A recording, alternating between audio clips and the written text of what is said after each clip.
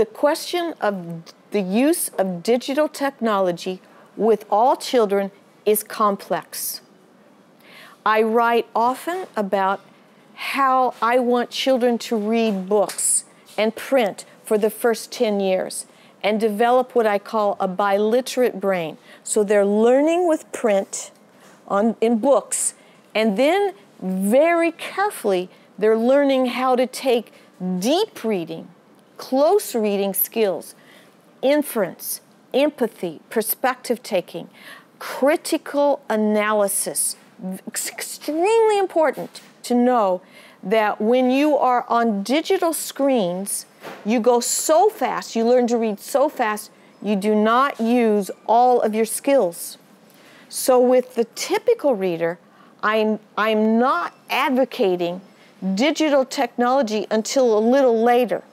With dyslexic children, I'm advocating it because I believe you can use it to help practice over and over and over and to get these, these words more and more learned quickly. So we can use technology in very good ways, but I don't want people from me to think that I am simply saying digital technology is the answer. It is not. It is a help, but it is not the answer.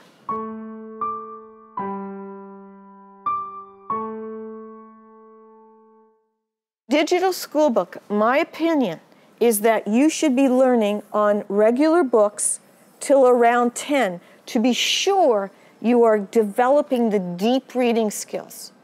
And then only with carefulness teaching how to read on digital. No one teaches how to read digitally. They just think, oh, if you read here, you read here. No. You have to teach them to say, what is the purpose of your reading? And if it's really sophisticated, my preference is not digital, but to have it printed out for them, to slow them down. I need them to learn how to think. So I can teach them how to think here and then to generalize over here, but carefully.